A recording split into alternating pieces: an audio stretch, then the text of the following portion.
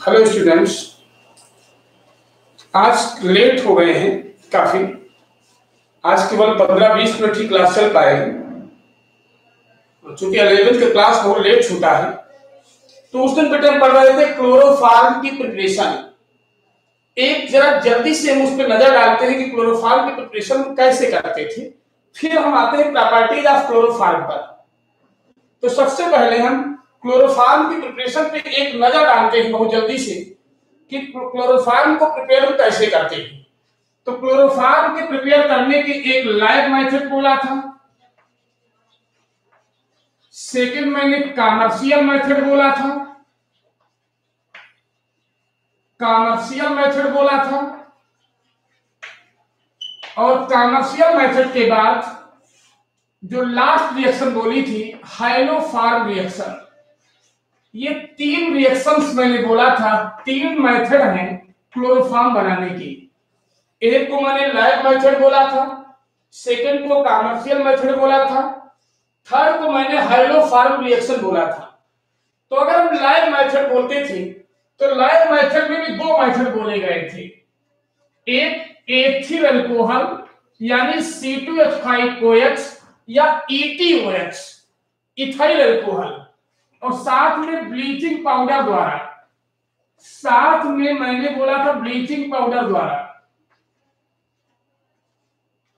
दूसरा मैंने बोला था एसीटोन यानी C S three CO C S three और साथ में ब्लीचिंग पाउडर द्वारा।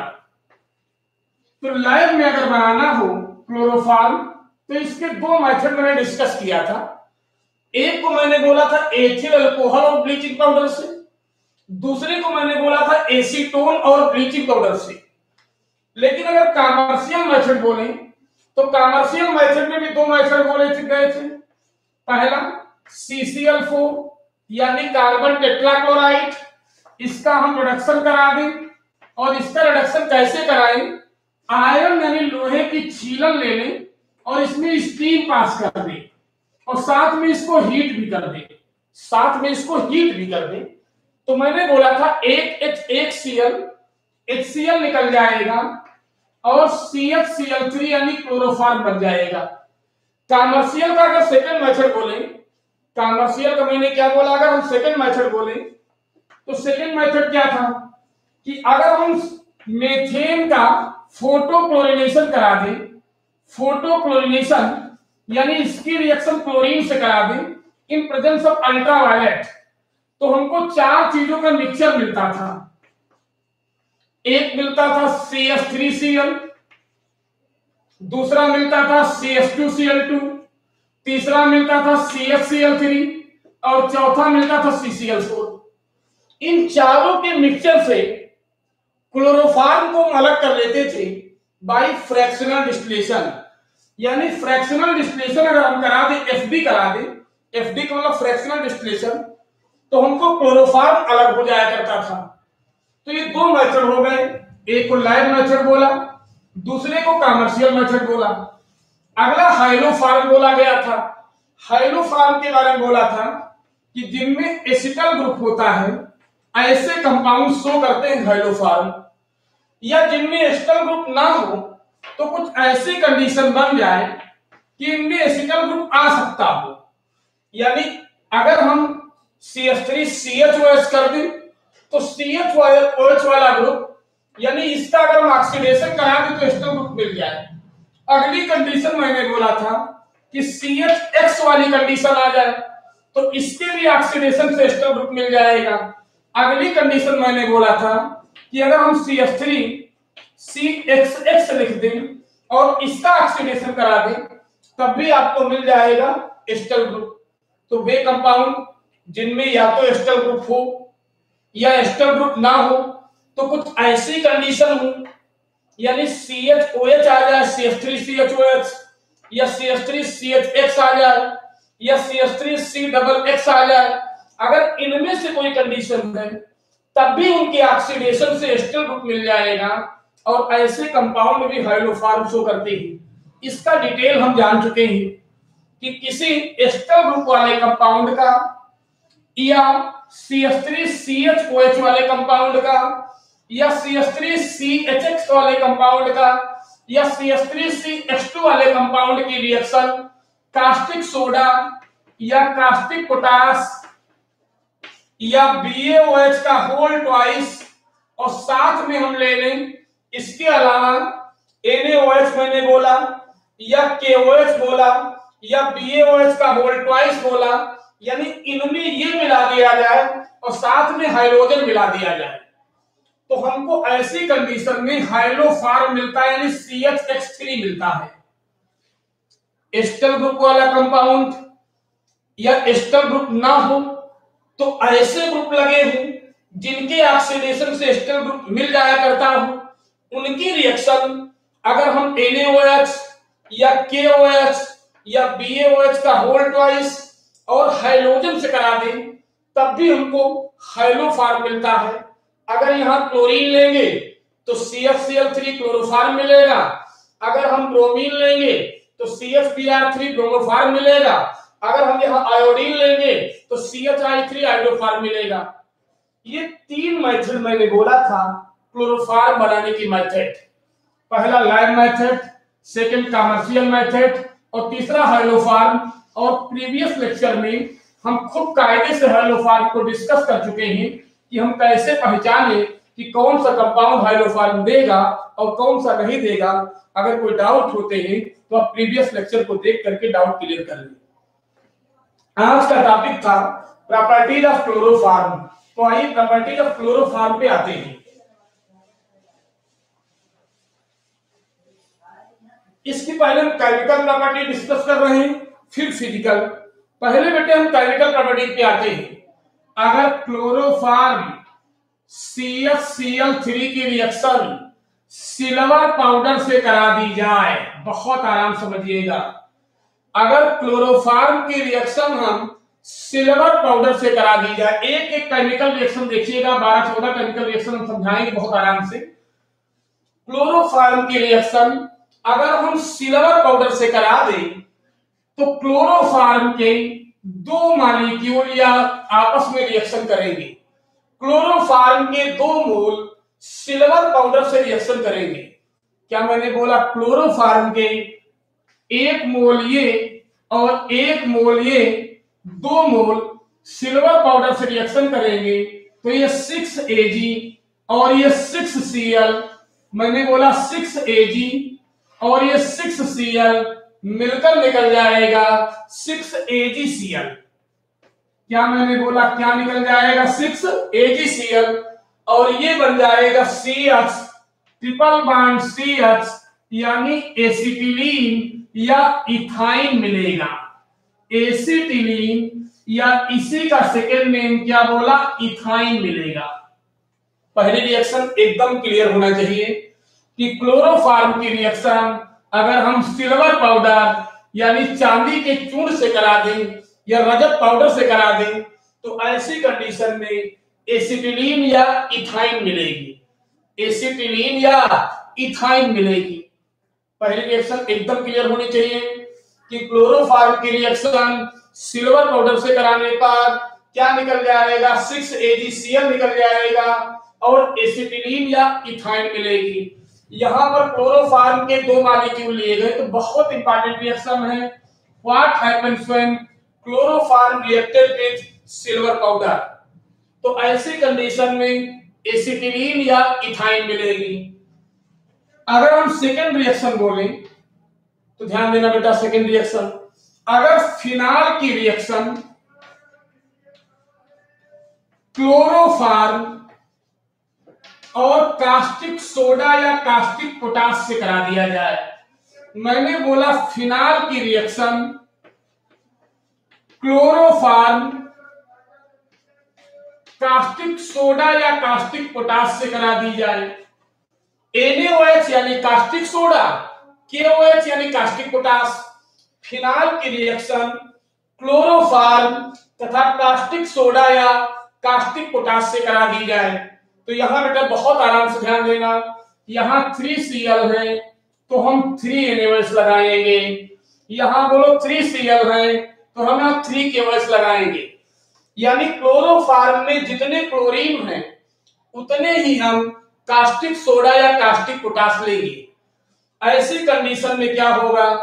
Three N A three C L three N A C L निकल जाएगा। क्या मैंने बोला? Three N A three C L three N A C L निकल जाएगा। यहाँ देखना बेटा, तीन एच यहाँ के, एक एच यहाँ का, यानी थ्री एच यहाँ के मैंने बोला है। एक एच यहाँ का, यानी फोर एच तीन ये, एक ये, यानी फोर एच और इसमें के तीन ओ में से दो, यानी चार एच और दो ओ मिलकर टू एच टू भी निकल जाएगा। तो क्या क्या निकल गया? थ्री एनएससीएल निकल गया। साथ में क्या निकल गया? टू एस टू ओ निकल गया। मैंने बोला तीन एन ए तीन C L three N L निकल गया। तीन एच यहाँ के, एक एच यहाँ का, चार एच और दो ओ मिलकर टू एस टू ओ निकल गया। अब ऑक्सीजन एक बचा। एक कार्बन बचा। एक मैंने बोला ऑक्सीजन बचा। एक कार्बन बचा और एक एच आर्थो पोजीशन से निकलेगा। ये आर्थो ये बेटा ये पैरा फंक्शनल ग्रुप के बाद वाला कार्बन को आर्थो फंक्शनल ग्रुप के बाद सेकंड कार्बन को मेटा और फंक्शनल ग्रुप के बाद बोलो थर्ड कार्बन को हम पैरा बोलेंगे। तो आर्थो पोजीशन से एक एच हटेगा, एक एच यहाँ का, एक सी यहाँ का, एक ओ यहाँ का मिल करके ये सीएचओ बन जाएगा। क्या बन जाएगा? सीएचओ तो यहाँ पर ध्यान देना, यहाँ पर ओ OH आया है और यहाँ सीएचओ आ गया। क्लियर ऐसे ही यहाँ अगर हम लिखें तो तीन के यहाँ के, तीन सीएल यहाँ के थ्री के सीएल निकलेगा। और यहाँ देखना बेटा, तीन एच और एक एच ये यानी चार एच और दो ओ इसमें के, चार एच और दो ओ मिलकर टू एच टू ओ निकल जाएगा। एक ऑक्सीजन बचा, एक कार्बन बचा और एक आर्थो का हाइड्रोजन हटेगा। तो बन जाएगा सीएचओ जहाँ से हाइड्रोजन हटा है, वहीं पर सीएचओ जोड़ देंगे। तो यहाँ पर ओएस है और यहाँ पर सीएचओ जोड़ देंगे। ये जो कंपाउंड बना है, इसका जनरल नेम क्या होगा? ध्यान देना, इसका जनरल नेम है सैल्सल्डिहाइड ये जो कंपाउंड बना, इसका जनरल नेम क्या मैंने बोला? सैल्सल्डिहाइड यानी क्या बन गया है बोलो बेटा? सैल्सल्डिहाइड ये जो कंपाउंड बना है, इसका नाम क्या बोला गया? सैल्सल्डिहाइड ओके इस कंपाउंड का नाम क्या बोला? सल्फरडिहाइड फिर से एक बार ध्यान दीजिएगा।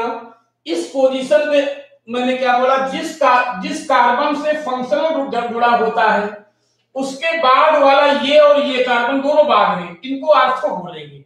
यानी ये आर्थो ये भी आर्थो है। इसको मेटा बोलेंगे तो इसको भी मेटा बोलेंगे, और इस पोजीशन को पहला बोलेंगे।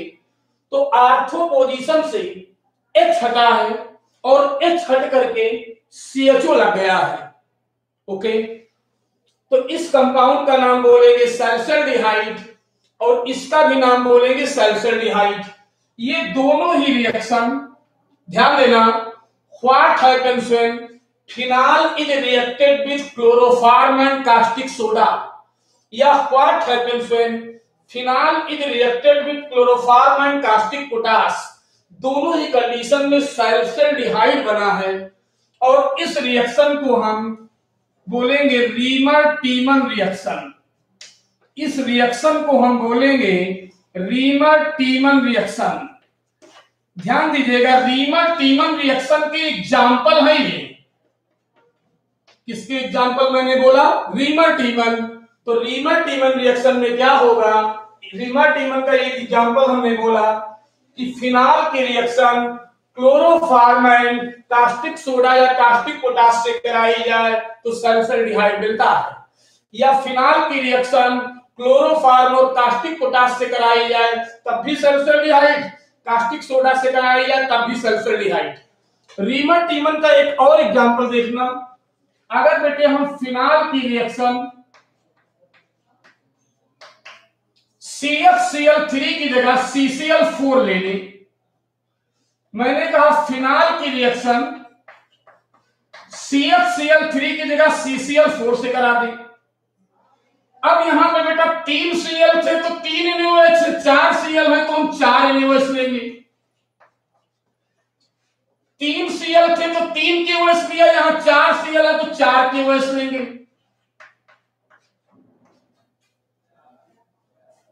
ध्यान देना बेटा, अब हो रहा क्या, चार एन यहाँ के, चार सीएल यहाँ के, चार एच यहाँ है, देखो, चार एच यहाँ के और दो यहाँ के।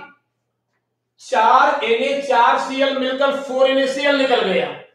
चार एच और इसमें के दो ओ मिलकर टू एस टू ओ निकल गया। तो ऑक्सीजन यहाँ दो अभी बचे यहाँ एक कार्बन भी बचा है। तो हमने बोला है कि four N A C L निकल गया, साथ में टू एस टू वो भी निकल गया। तो four N A C L निकल गया टू एस टू वो निकल गया तो दो ऑक्सीजन बचे, एक कार्बन बचा। और एक आर्थो का हाइड्रोजन हटेगा। तो देखो बेटा सी और दो ओ और एक एच आर्थो का मिलकर बन गया सी डबल ओ एच क्या बन गया बेटा? सी डबल ओ एच तो यहाँ पर ओ एच लगा था और यहाँ आर्थो वाली पोजीशन पर हमने सी डबल ओ एच जोड़ दिया। इसी तरीके से अगर फोर के ओ एच लेंगे तो चार के यहाँ के, चार सी एल यहाँ के फोर के निकलेगा और दो ओ यहाँ के और चार एच यहाँ के। उसी तरह सिमिलर वे में टू एस टू ओ निकलेगा। दो ऑक्सीजन बचे, एक कार्बन बचा, एक आर्थो वाला बोलो क्या हो जाएगा हाइड्रोजन सब मिला करके यहाँ भी सी डबल ओ एच आ जाएगा। तो ओ एच वाला यहाँ जुड़ा है और यहाँ जुड़ जाएगा सी डबल ओ एच जब सी एच ओ लगा था तो सेल्सर डिहाइड बोला था। मैंने कहा, जब सी एच ओ लगा था तो सेल्सर डिहाइड बोला गया था। अब सी एच ओ न लग करके सी डबल एच लग गया तो इसको सैलसेलिक एसिड बोलेंगे। इसी तरह इसको भी हम सैलसेलिक एसिड बोलेंगे। ये भी एग्ज़ाम्पल ही है, किसका? रीमर टीमन का ही। ये भी रिएक्शन रीमर टीमन का ही एग्ज़ाम्पल है। ये भी रीमर टीमन का ही एग्ज़ाम्पल है। तो ये रिएक्शन बेटे हम कौन देखे हैं? रीमर टीमन बोर्ड के एग्जामिनेशन में रीमर टीमन डायरेक्ट भी आती है कि रीमर टीमन पे साठ नोट्स लिखो विथ रिएक्शन दूसरे ऐसे आ सकता है फिनाल से सल्सलिक एसिड कैसे बनाओगे? या फिनाल से सल्सरडिहाइड कैसे बनाओगे? तीसरा आता है कि व्हाट हैपेंस क्या होता है जब फिनाल की रिएक्शन क्लोरोफार्म और कास्टिक सोडा से कराते हैं? या फिनाल की रिएक्शन क्लोरोफार्म और कास्टिक पोटास से कराते हैं? या क्या होता है जब फिनाल की रिएक्शन कार्बन टेट्राक्लोराइड और कास्टिक सोडा से कराते हैं? या फिनाल की रिएक्शन कार्बन टेट्राक्लोराइड और कास्टिक पोटास से कराते हैं? तो ये सारे एग्ज़ाम्पल किसके हैं? रीमन टीमन की कॉपी कर ले। आज काफ़ी लेट शुरू हो पाया, चूँकि अलेवेंथ की क्लास बहुत लेट ओवर हुई। टाइम भी नहीं है, लेकिन एक सूचना आपको दे दें। आज से फिजिक्स का जो लौकुश सर का पीरियड था, उसके जगह पर नवनीत सर पढ़ाएँगे।